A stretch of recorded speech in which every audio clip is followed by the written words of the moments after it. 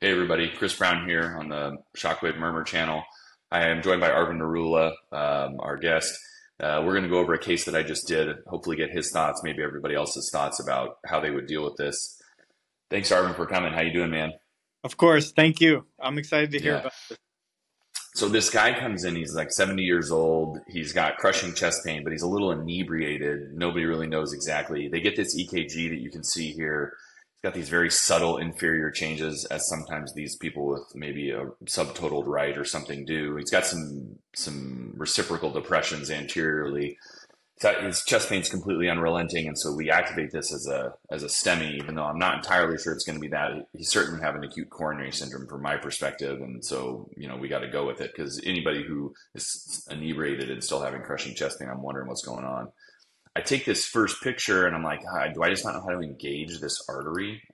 And so I keep trying, and it's it. I can get a halfway decent picture. I'm like, well, I can see it goes distally. And I don't know if there's just a bunch of thrombus in the beginning. and My catheter's the wrong shape. Maybe it's not big enough. You know, we're from the wrist. We're using the jail or an R3, uh, an R4. Maybe I need an R5. I switch sides. I take this other picture. He's obviously got this ostial circ lesion, maybe some distal left main thing, but that right, I I saw him taking a great picture of it. And I don't think that circ is the culprit to this. It's not small, but it's not the dominant vessel. So I get a different guide and then a different guide. And this is what I get with, my different guide. And I'm like, I don't, you know, this wire I was able to free wire in to even get this guide to seat. I think this is an AR2 or something to make it reach. I don't know what you thoughts about guides and uh, acute coronary syndrome, right coronaries are. I don't know what you like, but I just sort of, I think I probably used four different guides. I was probably pretty frustrated at this point. This is like, oh yeah, Um, ostially, ostially occluded. I, I don't even see anything right now. Yeah, I know, but in the other pictures, you can kind of see some flow, and I was like, "Well, what's going on here?" And I was like, "Well, I got to figure something out." It's like, "Well, let's just balloon it," and so I ballooned it with a little balloon. I still couldn't see much; it probably just recoiled back down. I was like, "You know what? Let me just try and deliver a lithotripsy balloon. I got pretty good back wall support here. I'm just going to go do lithotripsy, and you know, maybe this isn't that big of a vessel, but my wire's pretty far out there, and it didn't. It went out there as a big knuckle, and I was like, you know, I don't, I don't think there's. This must be bigger than I think it is, kind of thing. And so I did my lithotripsy, and then you see I get pretty good expansion. I mean, this might be an NC now, but it looks pretty good. I think I probably took a 3.0 or something. I'm thinking to myself, well, I got to IVUS this in a minute. And then I still couldn't see anything. And so I went back with my lithotripsy balloon. Um, and this is what I get at the ostium. So I'd done lithotripsy in the distal proximal lesion. I still hadn't gotten the ostium, obviously, pretty, pretty circumferential there. Got relief. All right, this is good. I'm pretty happy about this. I put an IVUS in. I figure out where the actual ostium is. Um, there's a little bit of cranial on this, which you don't really want. Uh, and I do another balloon angioplasty bigger thing now that we've IVUSed. And you see my wire is pretty far out there, but you can see how big this actually is, right? IVUS Wow. is a different mag, of course, but it's much, you know, way bigger than I thought it was. Chris, we're seeing this a lot. I mean, the, you know, these calcified vessels leading to acute coronary syndrome. It does not make things easy. No, it doesn't, right? And I, I mean, I was just sort of, you know, having to make half this up on the fly here because I'm thinking I couldn't see the distal vessel. You saw those first pictures, I could kind of see there was something distal, mm-hmm. and this really was a lot more inferior than it was lateral. So I'm like, I don't think that circ is the culprit, but you know, this could have easily just been, a, you know, some non-dominant vessel or something.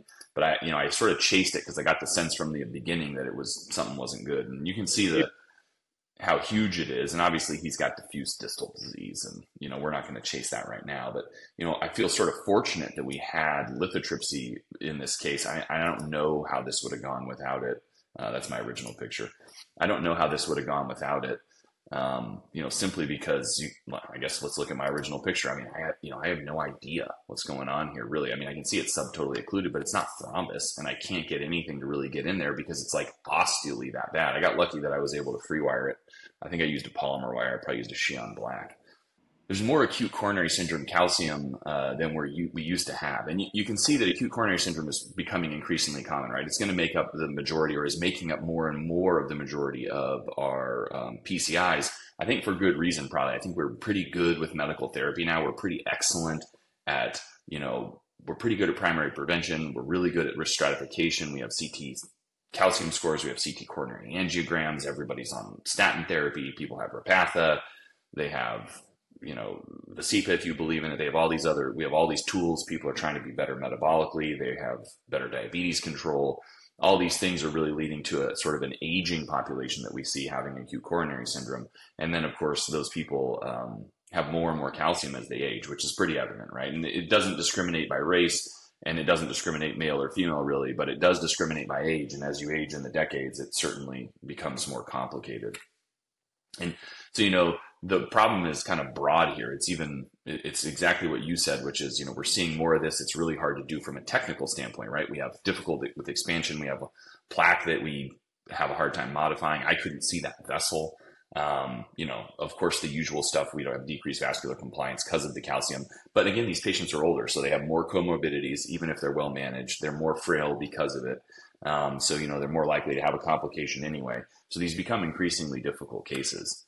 And so right now there are, I think, six or seven, I guess we can count on this slide, seven different ongoing real world registries that are trying to look at this. The US one only has 30 day follow up. The ones in Europe have longer follow up. Um, the number of cases that uh, were acute coronary syndrome in these registries are pretty high. I mean, a third or more in many of them. And I, I don't know how the Spain one got to be so high, but it, it's pretty high.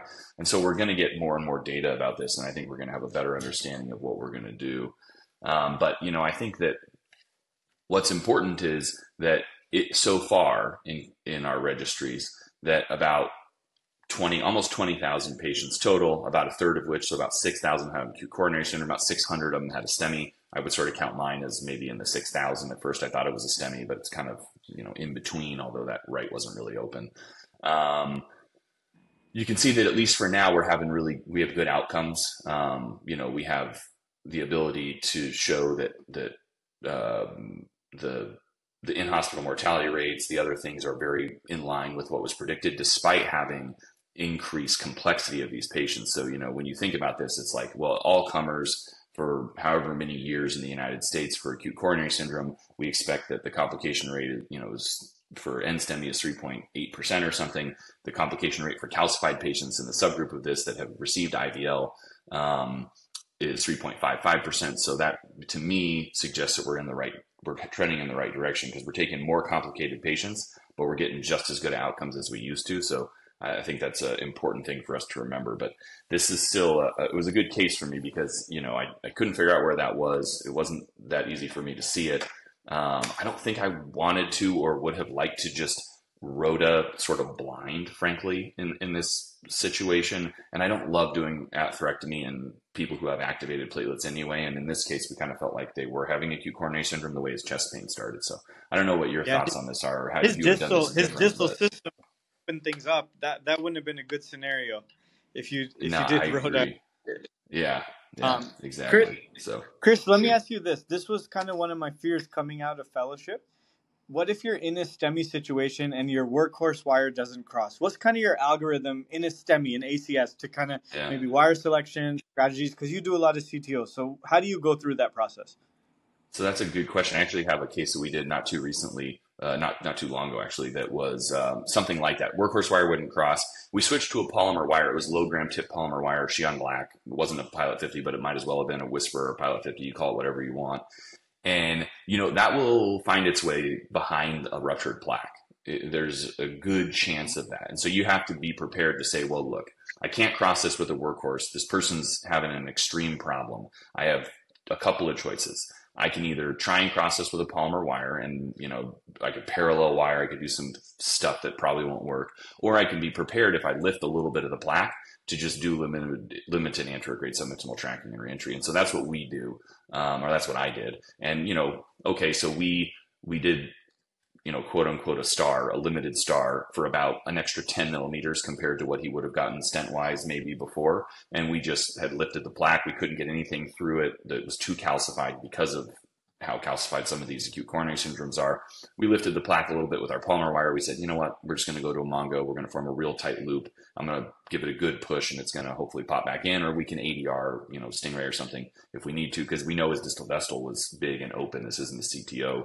Uh, it's a big plump target and it just pops right back in. I mean, because that's what the wire wants. It wants the path mm-hmm. of least resistance. And when you have a big open distal vessel, that's where it's going to go and it'll pop back in. But we escalate, I escalate through my sort of routine CTO escalation which is a, a, low gram tip load polymer wire. I do tell people frequently, though, if they're not using a hydrophilically coated uh, spring coiled wire, so say you're using a Manamo, which has a hydrophobic tip, um, I, I tell people it's probably worth trying uh, an Eiseneye or a Runthrough Hypercoat just because they have a polymer coating all the way to, or sorry, a hydrophilic coating all the way to the tip. That hydrophobic coating on those wires, uh, in, in, particular the, uh, the, the workhorse ones, it's meant to give you really good feedback. It's not meant to be a great crossing wire. That's not its purpose, right? It, you know, it's it's meant for a 75% soft plaque that you can just push the wire through, and it's meant to keep you out of bad places, uh, and that's what the hydrophobicity is for.